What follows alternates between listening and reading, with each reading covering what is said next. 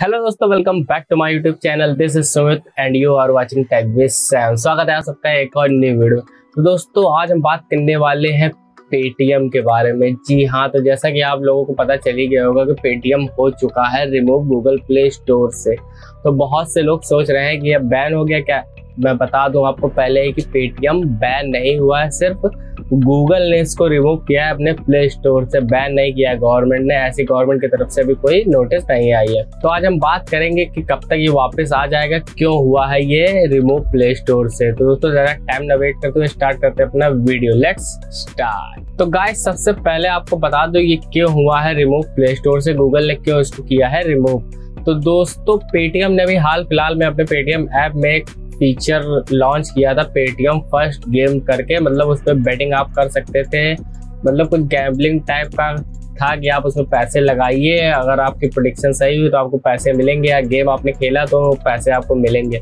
तो दोस्तों गूगल का साफ़ साफ़ ये कहना है कि वो अपने प्ले स्टोर पे ऐसी कोई ऐप नहीं रखेगा। आप इस ब्लॉग में पढ़ सकते हैं। आप वीडियो पॉज करके इस ब्लॉग में पढ़ सकते हैं। तो दोस्तों गूगल का साफ़ साफ़ कहना है कि वो अपने प्ले स्टोर में ऐसी किसी ऐप का समर्थन नहीं करता जो बेटिंग करती हो या गैम्बलिंग टाइप का जो भी कुछ करती हो तो वो किसी ऐप को ऐसे प्रमोट नहीं करता, ना ही वो अपने प्ले स्टोर में रखेगा। उसका साफ़ साफ़ ये कहना है।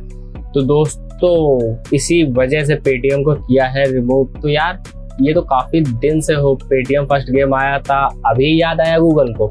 चलिए अब देखते हैं क्या होता है, लेकिन पेटीएम बैन नहीं हुआ है। पहले बता दो बहुत से लोग डर रहे हैं कि उनका पैसा फंसा हुआ है पेटीएम में। तो पेटीएम बैन नहीं हुआ है, ना ही बैन होगा मेरे हिसाब से, क्योंकि पेटीएम एक बन चुका है बैंक जैसा कि आप समझ सकते हैं कि पेटीएम बैंक बन चुका है। तो दोस्तों पेटीएम बैन नहीं होगा।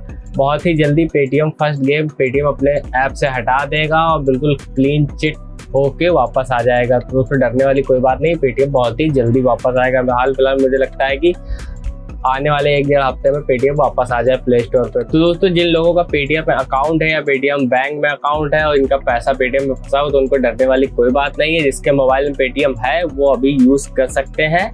और गवर्नमेंट की तरफ़ से कोई बैन का वो नहीं आया है तो आप डरिए मत। तो दोस्तों, बस आज की वीडियो बस इतना ही। वीडियो अच्छा लगा तो लाइक करिए शेयर करिए कमेंट करिए और चैनल कर दीजिए। सब्सक्राइब और नोटिफिकेशन बेल आइकन को भी दबा दीजिएगा ताकि मेरी नेक्स्ट वीडियो की अपडेट आपको मिल जाए। तो बस मिलता हूँ आपसे अगली वीडियो में। खुश रहिए, खुश रखिए। जय हिंद, जय भारत।